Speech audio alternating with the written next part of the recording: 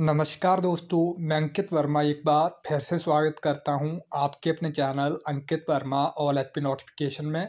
तो दोस्तों, जैसा कि आप थंबनेल पे देख ही चुके हैं कि अभी की जो ताज़ा खबर ब्रेकिंग न्यूज़ आई है कि हिमाचल प्रदेश के लोगों के लिए राहत तो क्या राहत की जो है न्यूज़ आई है, पूरी जानकारी आपको इस वीडियो में देने वाला हूँ। वीडियो पर एंड तक बने रहिए।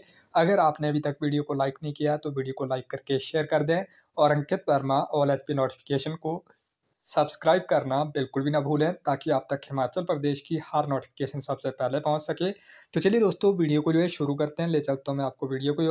तो देख सकते हैं जो ताज़ा खबर ब्रेकिंग न्यूज़ आई आज की, कि राहत हिमाचल में उपभोक्ताओं को नवंबर में इतने रुपये सस्ती मिलेगी, मलका दाल।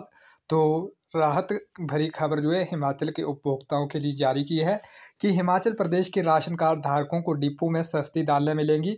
एपीएल कार्ड उपभोक्ताओं को मलका बासी रुपये की बजाय अब छप्पन रुपये किलो मिलेगी, जबकि गरीब परिवारों को बहत्तर की बजाय छतालीस रुपये और करदाताओं को या दाल जो है एक सौ छः की बजाय उनासी रुपये किलो मिलेगी। छब्बीस रुपये मलका दाल जो है सस्ती हुई है।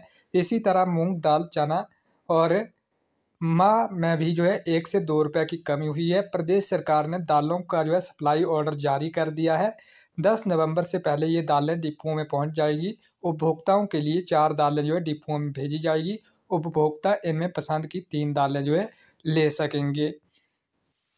तो इस प्रकार आप देख सकते हैं, हिमाचल प्रदेश की डिपुओं में जो है दालें जो है सस्ती की है। मलका दाल जो है वो सस्ती की गई है आपकी छब्बीस रुपये और जो दूसरी दालें हैं, मूंग दाल चना और माँ की दाल जो है, उसमें दो से एक से दो रुपये की जो है कमी हुई है।